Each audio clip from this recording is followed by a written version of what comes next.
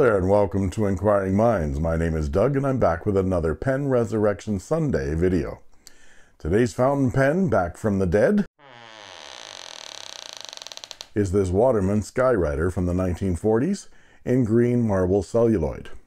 This pen and its 14 karat gold nib were manufactured in Canada. I bought this pen last summer at an antique store with two other Waterman celluloid pens of the same era. One that's already been restored in this gorgeous honey colored celluloid, and another that's still waiting its turn for salvation in this gray marble. I was a little suspicious about how this pen would perform on the page, and I waited until I had completely restored it to get ink in that nib and put it to paper. I had quite the reaction when I tried it for the first time. So see what this pen looked like before and after its resurrection right now.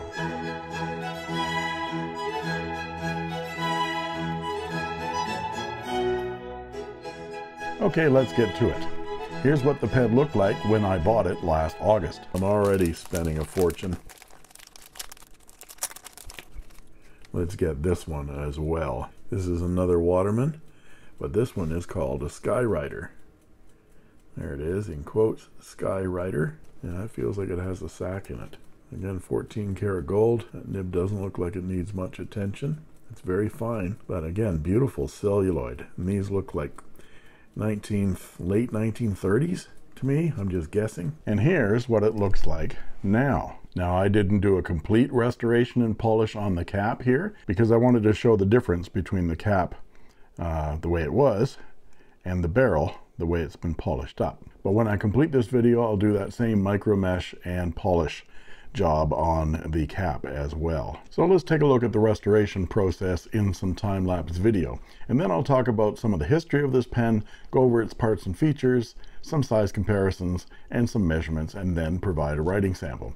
And then I'll give my thoughts on this resurrection. So I just picked up a number of supplies, two new sacks for Parker Vacuumatics because I just bought one on eBay today and I've got another one that needs one and some latex sacks. I got these from 15 pens which is in Toronto and some uh, some good prices and excellent service from Scott Newman. Thanks Scott. One of the things I purchased was this nib smoothing block nib reshaping block because I've got a couple of pens that are going to need some attention. So let's assess the damage here. I'm going to try to polish up that hardware try to polish up that band a little bit and there's a lot of uh, scratching and wear on that celluloid so I'm going to try some micro mesh on that. And I'm going to try to protect that. It's very very light engraving. So I've already heated the section uh, with my heat gun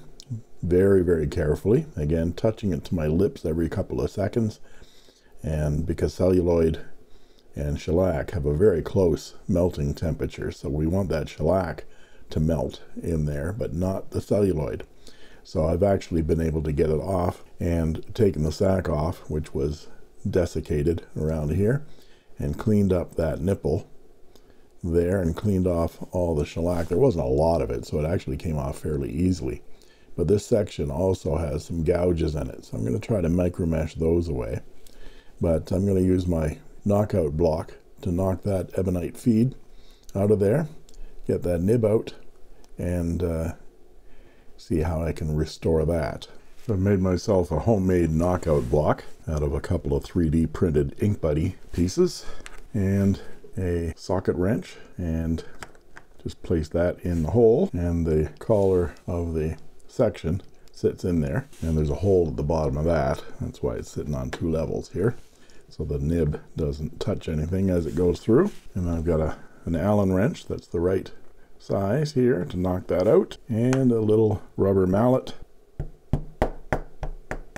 that was dead simple almost fell out and there's the nib. It's in good shape. And the feed. Still a lot of old ink on there. I'll polish that up and clean out the section. And while that section's off of there I'm going to try to micro mesh it to get these gouges out of it. So let's polish up that nib first. That's always the first thing I want to see.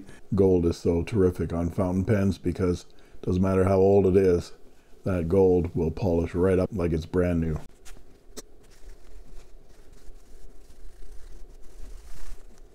Now let's see what we can do on this cap band. Again, we check it often because I don't want to go through that plating. a lot better. And what about that clip? It already looks like it's brassing a bit, so I'm going to be very gentle with this.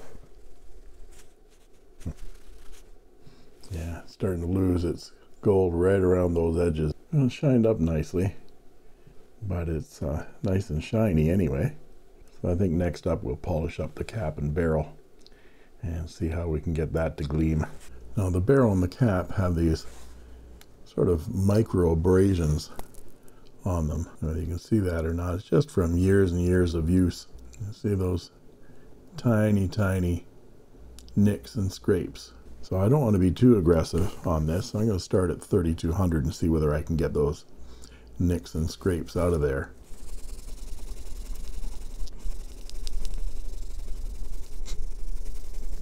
You can see through that there's still some nicks and cuts and things like that. So I'm going to have to go up a grade to 2400 to see whether I can get those scratches out. Yeah, that's looking pretty clean right there. So that's as abrasive as I want to get.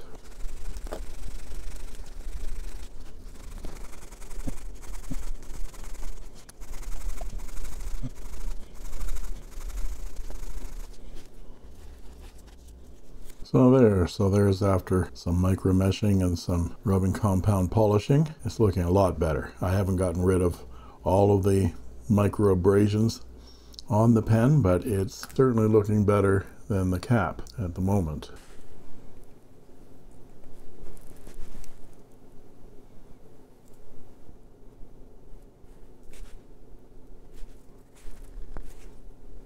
Now let's see about getting this sack on.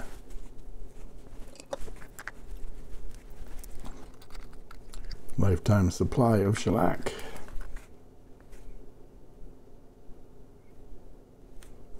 And our handy sack spreader. Let me give that a bit of a turn, make sure it's straight.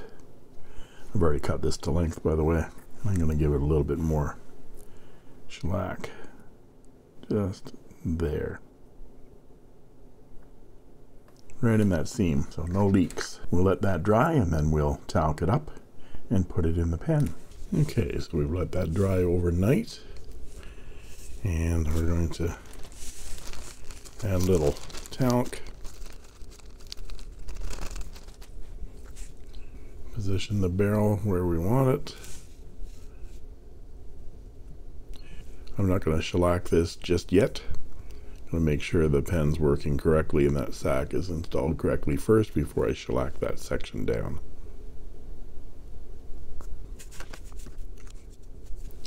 And there we go.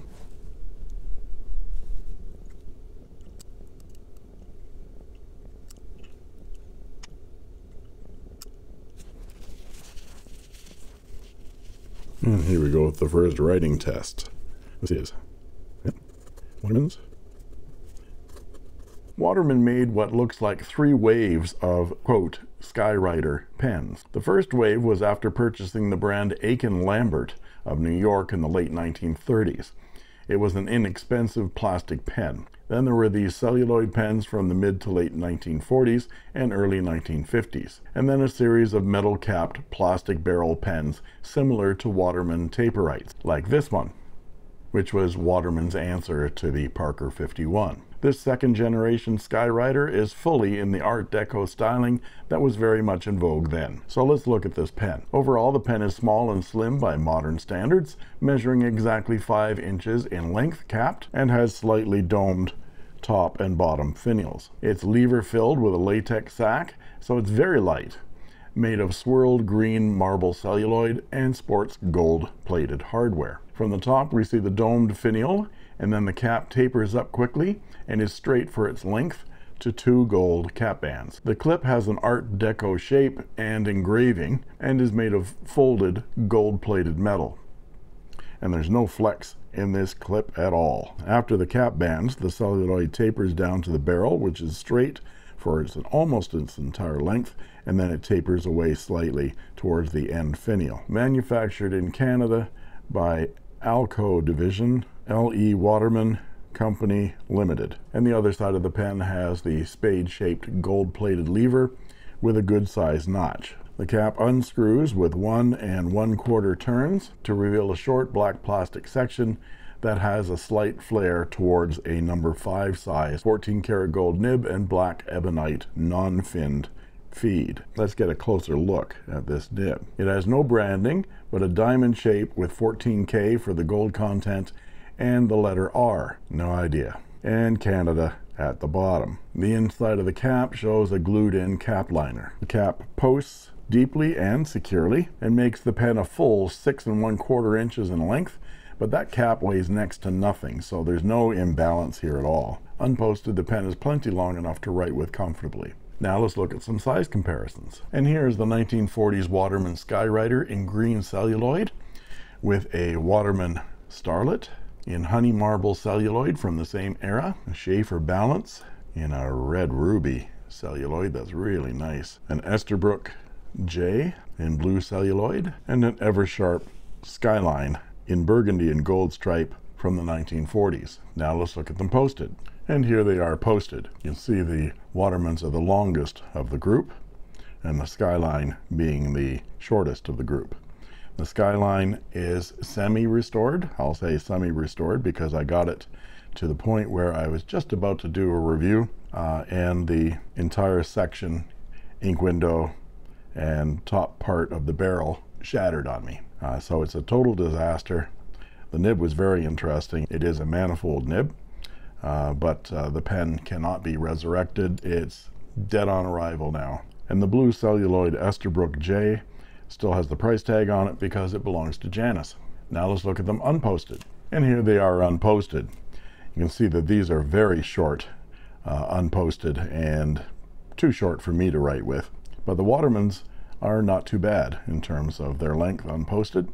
And I think these barrels are the same piece between the Starlet and the Skywriter. They seem to have exactly the same shape. Certainly the sections are the same. And here's that gray marbled celluloid Waterman. I think might be a Starlet, but it only has one ring on the cap band. And this one has a very rough section on it, so I have to work on that. And the nib needs some work as well. So you may see this in a future Pen Resurrection Sunday. Depends on whether it falls apart on me like the Skywriter did. Now let's look at some measurements and I'll be back with a writing sample.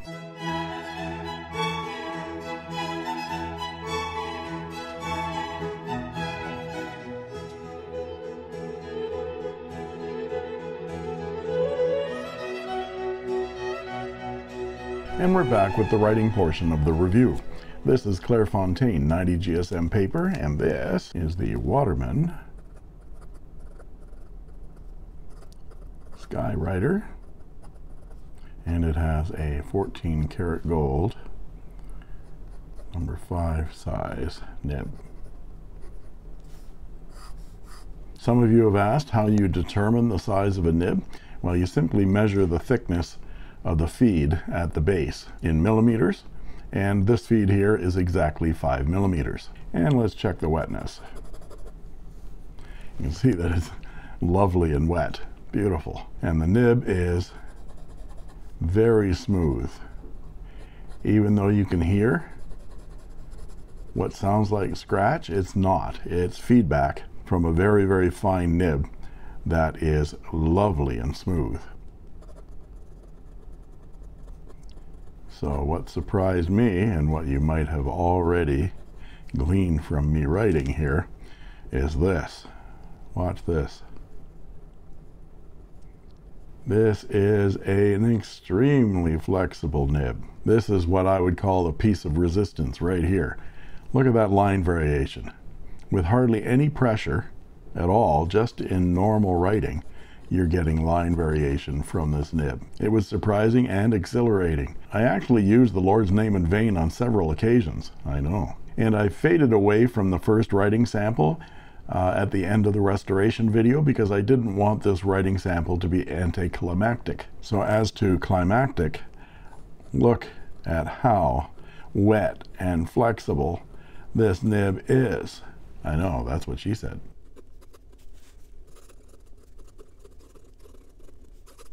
And the ink today is the only ink that I put in a vintage pen with a latex ink sac, and that's Waterman's Serenity Blue. And that's because it has a pH of 7, which is the same as water. And this nib makes a 0.2 millimeter line with no pressure at all. And look at that. That measures up to a 0.9 millimeter thickness line, which makes this pen a Western triple X. That's what she said. Fine. Two, a double broad plus, or a Japanese extra fine to I don't know what. Triple B? I don't know. Off the chart. And that's on my Richard Binder line width chart, which you can find linked in the description. And for our quote.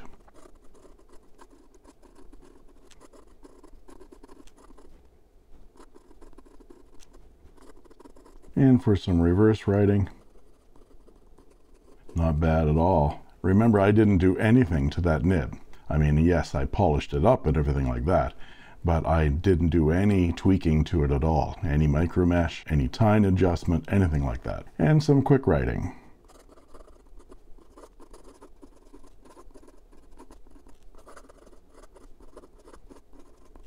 It's nicely wet. And even when I'm pushing it, yeah, it's starting to railroad now. But that's a very hungry, hungry nib. So what are my thoughts on this pen resurrection? Well, I was delightfully surprised by this fountain pen restore. I was very pleased that the pen came apart so easily and shined up so beautifully, but I was anxious about how that nib might perform. I didn't even press the nib to paper before I restored the pen, leaving the nib's performance as either a happy surprise, a challenge to make it right, or a downright disappointment. When I first touched this nib to paper, nothing came out and my heart sunk. Then I primed the nib a little and the nib just came to life in my hands and it was thrilling. Yes, I get thrilled by a fountain pen. I know I got to get out more. The pen is slim, measuring only 8 millimeters at the narrowest part of the section, but the section is too small for me anyway, so holding it back here on the barrel where it's about 10 millimeters is much more comfortable, and that length ends up balancing that pen very, very nicely. Very, very comfortable to hold. In this back position, with my hand uh, gives me a lower angle to the page to allow me to flex that nib a little bit more as well and keeps it from digging in on the upstrokes. And this natural no pressure line variation just adds tons of character and flair to your writing. There's my flair, okay? And this is me expressing myself. It's just so much fun. Such fun! and there you have it. If you like this video, please like and subscribe, and don't forget to ring that bell to get instant notifications whenever a new video is posted. And please look in the description for a link to Goldspot pens as I'm now an affiliate of the online store. And when you shop at Goldspot using my link, you'll be supporting my channel as well at no extra cost to you. You can also join as a member of my channel for just 99 cents a month, and I guarantee I'll answer your comments in the comment section, and you'll get cool emojis, badges, and sneak peek unboxing videos as well. Yummy. And that just leaves it for me to say, thank you.